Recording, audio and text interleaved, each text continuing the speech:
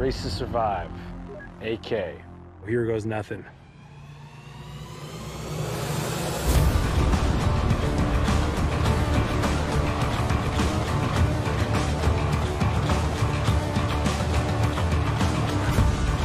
It is race day, pushing for the final and single medallion. It's built up to this moment, this culmination. We gotta give it 110% and finish this with no gas in the tank. And that's exactly what we're gonna do.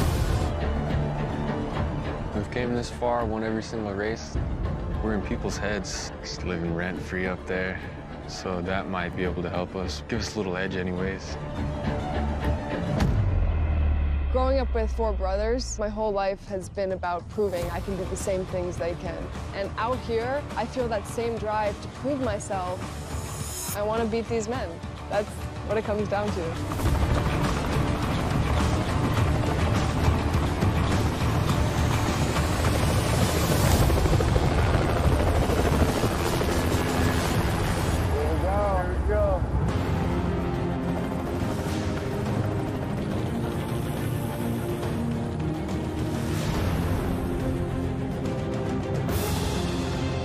The final three teams are being dropped, alone, at the most remote and barren landscape of the entire race.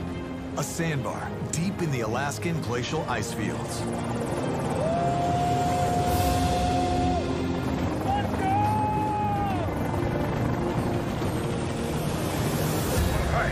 There's a crate! Oh, there it is, there it is. Let's go. Three, two, one. Bag's feeling a little light. Bag. Here's the map.